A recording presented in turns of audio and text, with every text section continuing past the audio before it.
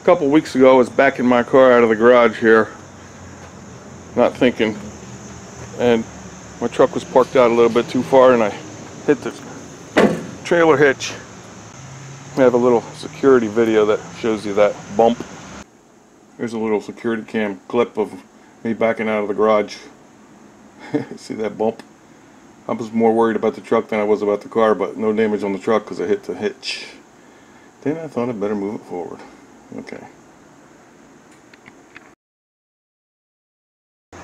Ended up with a pretty nasty dent on the corner of my bumper there on my Cadillac, which I didn't like. And I got it out real easy, and I should have showed you how.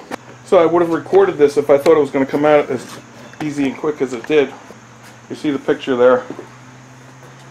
I banged on top, and then I banged on the side, and it popped right out. I had some nice touch-up paint, and I touched up that scratch there, and I think it looks pretty good. Hope that helps somebody.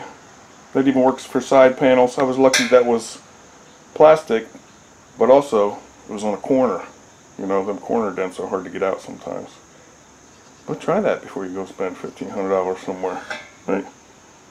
Hope it helps you. Can't hurt, right?